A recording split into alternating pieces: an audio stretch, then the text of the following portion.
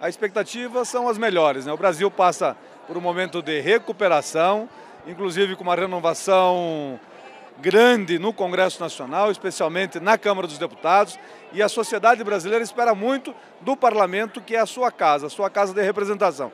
E nós não vamos furtar as nossas responsabilidades de ajudar o povo brasileiro, ajudar esse país a se elevar ao patamar que ele merece. E nós somos muito ligados ao setor agro, ao setor produtivo, defendemos causas ligadas à agricultura familiar, agricultura extensiva, ao cooperativismo, à otimização dos modais de transporte, a redução do custo de produção, o combate à corrupção, isso é sistêmico, sempre está nas nossas prioridades.